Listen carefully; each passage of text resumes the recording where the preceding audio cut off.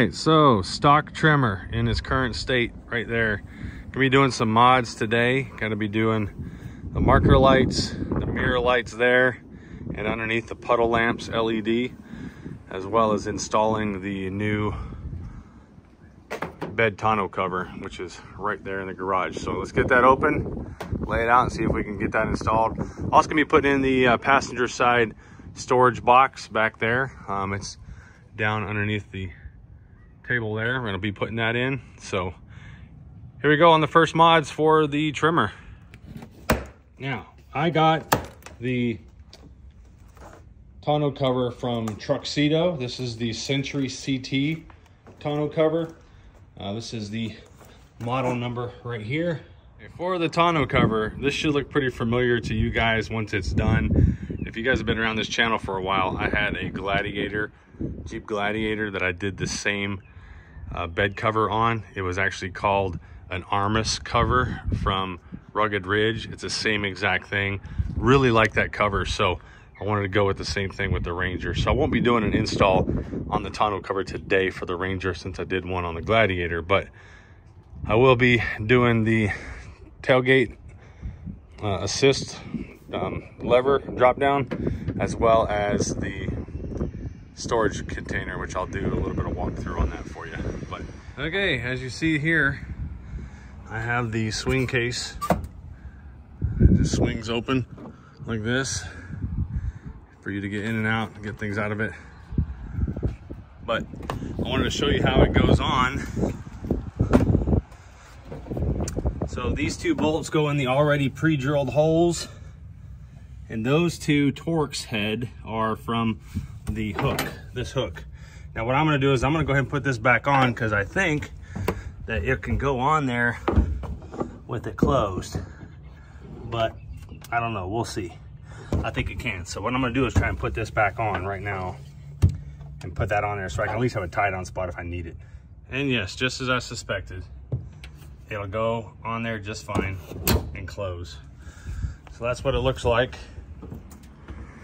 on right there. So the Sentry CT cover comes with these brackets here. It's this bracket right here.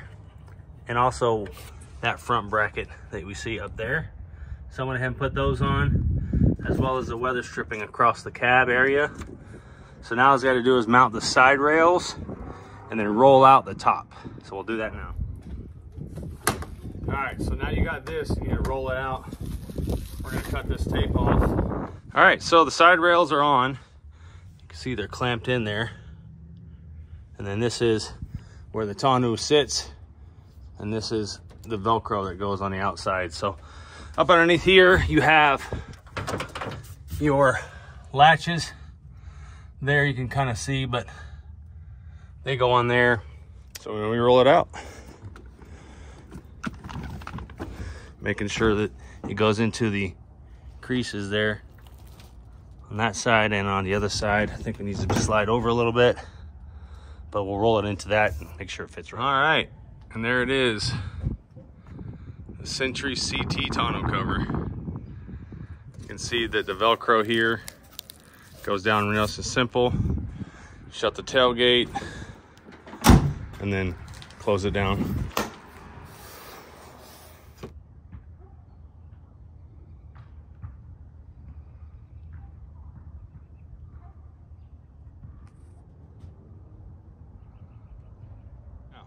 What's more is the DZ tailgate assist. Any self-respecting Ranger owner knows that this tailgate drops down on its own pretty hard. So this tailgate assist going right here, it's gonna help dampen the uh, function of this tailgate. So super easy.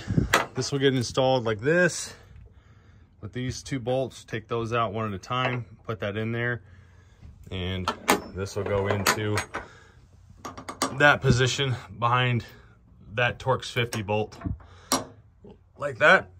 And then the tailgate assist will go like this right here on the tailgate and those two with those two brackets. So we'll get that right, installed. So it is on and this is the function of it. I gotta unlock the truck first, obviously. But it went on pretty smoothly, no issues whatsoever. So now when you open it, it just comes down slowly like that. So there's how it mounts right there. And then this piece here. So what you'll need is you'll need a T50 for this bolt and this these two bolts here will be a six millimeter Allen wrench. You put it on there and there's no issues at all. looks really good. Right, next up is the turn signals, those clear turn signals I was talking about. I got the passenger side off. This is what it looks like. I did it a little different way probably, but all you gotta do is just pop this mirror piece off. It just pulls straight away from, from that. And then you have some Torx screws in there. Took four of them off, popped off the lens, and then now you can see we're replacing it with the darker ones here. So we'll put those There on. it is. Looks way better. And I'm gonna uh, unlock the doors so you can see it, but they turned out really good. This is one of the first mods I knew I wanted to do to this truck whenever I got it. Those white turn signals just look gaudy as all get out. So there it goes. That's what it'll look like whenever it's flashing in turn signal. So, very cool. Now, moving on to these. We got to put those in next. All right, so what you want to do here for this light is you want to just kind of reach up underneath here, get your finger up there, pull that back like that. And inside, you're gonna see, you're gonna feel around for this little clip right here. This little clip, you're gonna push up and push it out this way and it'll come out. So something like this right here. Put your finger up there, push that out, it comes out simple as that. Insert, same exact way. You can go ahead and tuck this back in now that we've already got it out. we can access everything through here. Just like that, it's on. Looks way better. And that's what it looks like whenever it lights up. Matches the turn signals really well. There and there. All right, so now one of the things I did not like about the Tremor whenever I first got it is this Tremor decal on the back. It's just, seems pretty plain, pretty bland to me. Uh, it's silver outline. What I'm gonna replace it with is this decal right here. So that's gonna go on there. It's silver in the middle, black on the outside, and that's gonna go in place of it right there, like that. Um, this is 15 inches. This decal is 15 inches from the tip of the T to the top part of the R over here. The uh, tail of the R is an extra inch. So it'll, it'll go on there, something like that right there.